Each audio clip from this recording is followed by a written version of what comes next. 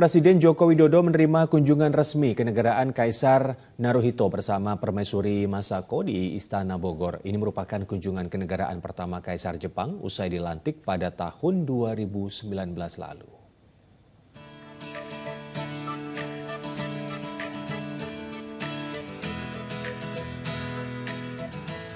Diiringi dengan lagu kebangsaan kedua negara, Kaisar Naruhito bersama Permaisuri Masako tiba di Istana Kepresidenan Bogor pada Senin siang. Usai melakukan inspeksi kehormatan, keduanya Selanjutnya memperkenalkan delegasi dari masing-masing negara yang turut hadir dalam upacara penyambutan tersebut.